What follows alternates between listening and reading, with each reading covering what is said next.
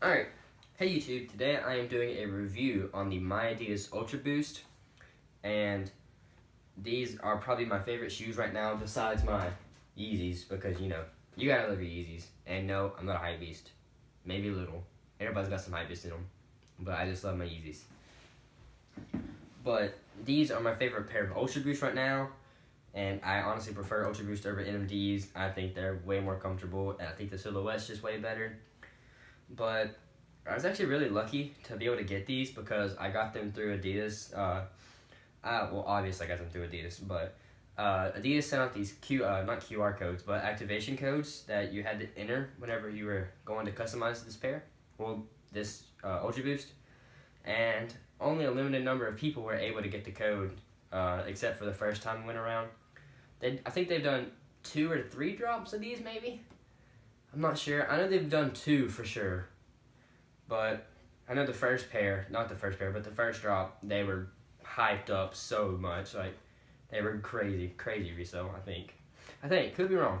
But um, I absolutely love this shoe. And what was really cool about it was uh, whenever they shipped them to me, it can't, it, it doesn't come in like a regular Ultra Boost box. It comes in a, like, Adidas Performance box. I mean, it's the same exact box as my Crazy Explosives right here. I'm doing a review on these soon. Probably should be up tomorrow. Maybe the day after that. Uh, it's coming soon though, I promise. But they also sent me a um, drawstring bag, which is really dope. It's pretty cool. Just a nice little drawstring bag. I'll probably use this for gym sometimes because I'm a senior in high school. Uh, and I also came with another pair of uh, white laces, which I really need for my uh, triple white ultra boost because they're kind of getting destroyed from where I've like relaced them so much. And I've already went ahead and relaced these like I have in my tutorial video. And I think it looks really good like this as well. But yeah guys, let's just go ahead and get right into this review.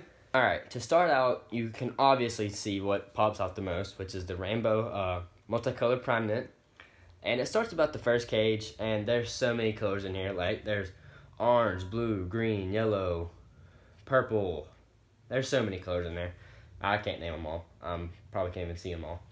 But these are size nine and a half, which is um, my size. They run true to size, like most Ultra Boosts do. Is that 3.0? Some 3.0s run big. I think. but uh, on these, there wasn't really much you could customize. Uh, like the first time they, uh, the first drop they did, I'm pretty sure the, on the first drop that they did in Europe and in New York, like in store at New York, you were able to do uh, the navy upper, but for my go around, I can only do a white or black upper, and I went with white because I think personally, for myself, white is a better uh, color for a shoe. That's my opinion. Don't hate me for that. Um, but I personally like white shoes better. But uh, there wasn't really much you could do. You could customize the upper, the outsole. I was with the black uh, outsole, and it's a Continental uh, outsole, which is great because on 1.0s the uh, sole wasn't uh, made by Continental, so they kind of like degraded really fast. But on all your 2.0s and 3.0s now, uh, it's a Continental sole, and I went with the black one. You could also customize the uh, uh, tongue label right here, and I went with a uh, black 3M, which is reflective for in case you didn't know that. And you could also customize the laces or change the color of the laces, but I just went with white because it really makes the shoe look way more cleaner. Except this pops out. It makes this pop out way much more too. And I don't think you could uh, change the color of the cage. I could be wrong, but I don't think you could because I don't remember being able to do it. But this shoe is really amazing. I love it to death. I wore it today to school, and I'm glad I got a black sole because you can't really see dirt that much on it, which I'm grateful for because my triple white Ultra Boost that are back there, you can probably tell that they're pretty dirty, which I need to clean them really bad.